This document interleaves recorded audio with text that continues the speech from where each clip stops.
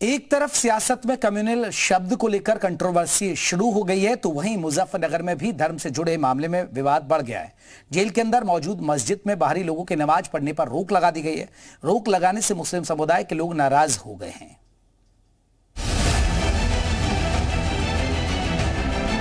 उन्होंने मेरे को रोका, मैंने कहा, मैं भैया नमाज़ पढ़ने जा रहा हूँ।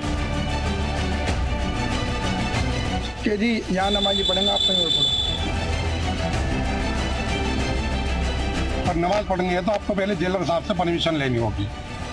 मस्जिद में मुस्लिमों की नो एंट्री इन लोगों के बयानों की माने तो जेल के अंदर मौजूद मस्जिद में नमाज़ पर रोक लगा दी गई है।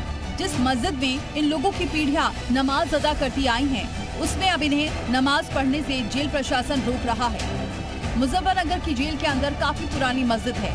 जिसमें आसपास के लोग नमाज़ पढ़ने आते हैं। लेकिन दो तीन दिनों से इन लोगों को वहाँ नमाज़ पढ़ने पर पाबंदी लगा देने की बात सामने आ रही है। लोगों ने जेलर पर धमकी देने का भी आरोप लगाया है। मुंतजिर अब आप जेल के बाहर हैं तो क्या पूरा मामला और यहाँ पंद्रह बीस साल से जी नमाज़ पढ़ना आते हैं हम तो यहाँ। कल आए तो इन्होंने कहा कि जी नमाज़ को पढ़ने नहीं जाएगा।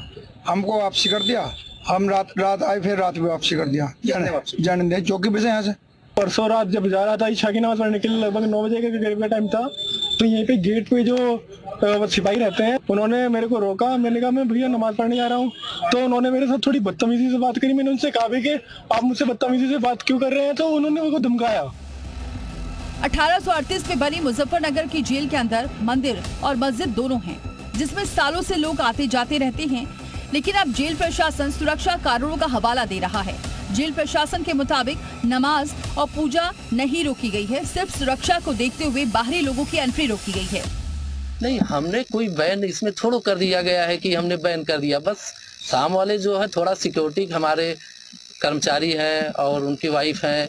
अभी मैंने किया सारी चीज़ें। सिक्योरिटी को भी तो ध्यान में रखना होगा। बाकी दिन में जो मुलाकात के समय आते हैं उसमें कोई वो नहीं है। जेल प्रशासन अलग दलील दे रहा है और स्थानीय अपने हक की बात कर रहे हैं। जेल प्रशासन के इस कदम से लोगों में नाराज़गी है। मुजफ्फरनगर से अंकित मित्तल की रिपोर्ट, जी मीडिया।